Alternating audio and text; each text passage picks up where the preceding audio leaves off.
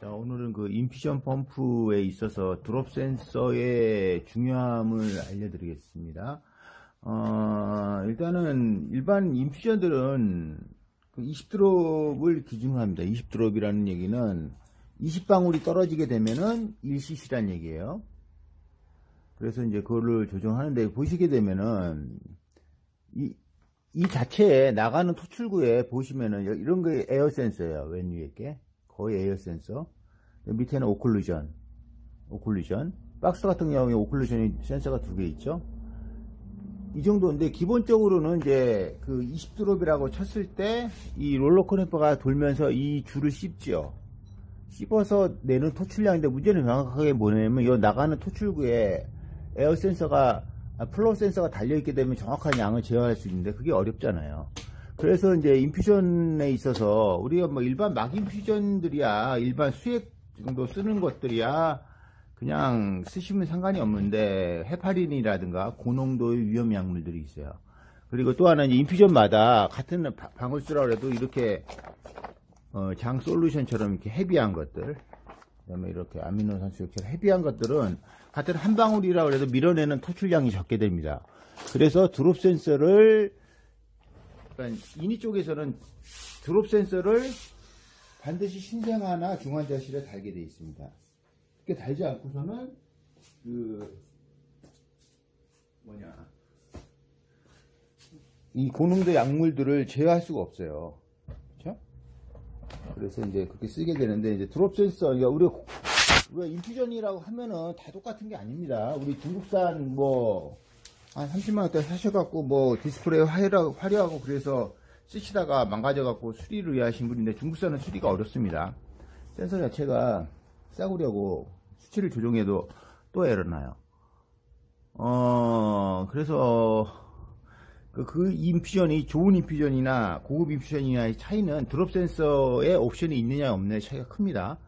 어, 국내에서는 그나마 이런 우영이라든가 메디퓨전도 drop 센서가 있어요. drop 센서만 사시는 거면 33만 원입니다. 우영 같은 경우. 이게 필요한 이유가 왜 필요 없으면 만들지 않았겠죠. 필요하니까 만든 거예요. 테르모 같은 경우도 어, 우리 키시면은 오픈 모드는 일반 수액줄이고 그 뭐냐 drop 센서를 쓰게 되면 JJ 모드가 뜹니다. 이건 안에서 조절하신 거예요. drop 센서를 쓰게 되어 있습니다. 자, 고개. 자, 그래서 드롭 센서를 장착하는 것들. 솔직히 말씀드려서 테르모나 이런 쪽은 우리, 우리 이제 서울의 큰 병원들이 쓰는 거고요. 국산은 삼성이나 아산병원에서 안 씁니다. 뭐 지방 병원이나 이런데 뭐 그런 데나 좀 우영이나 쓸까. 나머지 뭐 어떤 분 AMP가 좋다 그러는데 아니죠. 이게 국산 인퓨전이 애매모호합니다. 이게 국내에서 안 써줘요 일단 유수의 병원 에서 고민이죠. 자 그래서 드롭 센서를 장착하는 것. 자 보시면 여기 보시면은 요거는 어, 아키메이트죠. 그래서 여기 뒤에 꼽는 것이 있습니다. 그래서 뒤에다가 그 드롭 센서를 꼽으세요. 꼽으시고 자 여기도 보면 이게 테르모죠. 테르모에서도 어, 여기 보시면은 꼽는 데가 있습니다. 그래서 드롭 센서를 보세요.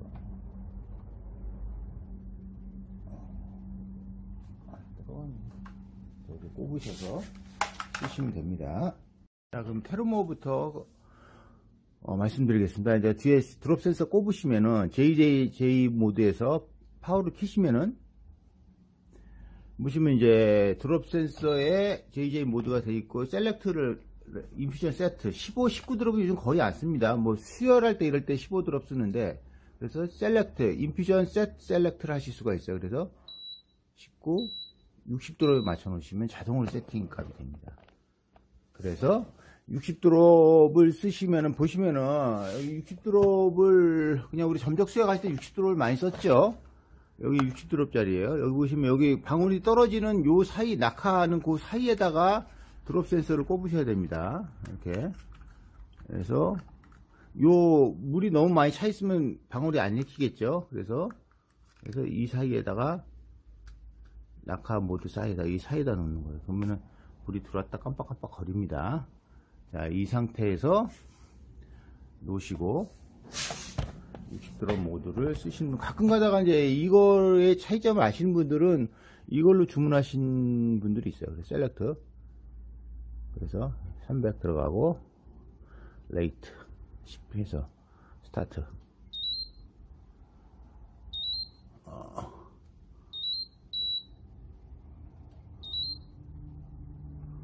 아유 수액을 안, 수액을 안 꼽았네요. 수액을 꼽겠습니다. 정신이 없네요 그래서 수액 세트를 꼽으세요. 쭉쭉 늘려서 하시는 거 아시죠?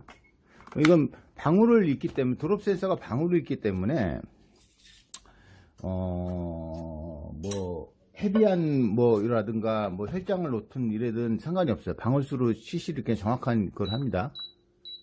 자 그래서 퍼지 좀 누르시고 보면은 깜빡깜빡 거리는 게 보이시죠 요게 한 방울 떨어지는 거예요. 그래서 이걸 60드롭이면은 60번 하면 1cc로 계산해서 수행량을 제어합니다.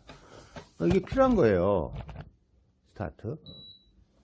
그래서 60드롭을 쓰시는 거예요. 보시면 들어가죠. 60드롭을 저 60방울이 1cc 그 시간당 20cc 들어가게끔 정확히 조절합니다 뭐 혈장이나 이런 뭐 이 밀도랑 수액에 관계없이 방울수를 제어하니까요. 한 방울이 60드롭인 경우는 60방울이 1cc입니다. 그런 차이가 있죠. 그러니까 그런 것들을 잘 고려 하셔야 되는 겁니다. 자 이제 우영 설명드리겠습니다 자, 우영에 있어서 드롭 센서를 장착을 하실 때, 장착하시고 센서 값을 지정하실 때 세팅 모드 값 들어가시면 됩니다. 요거 천 단위랑 소점 단위 누르시고 동시에 누르셔서 파워 키시면은 떨어 끝날 때쯤 떼시면 됩니다. 지금 accurate는 이거는 의미가 없어요. drop 이제 스텝 2에 가면 drop이 open 모드 쓸 때는 98 drop으로 그냥 되어 있지만 이게 60 drop이잖아요. 그럼 60 drop을 세팅 값을 지정해 주시면 됩니다.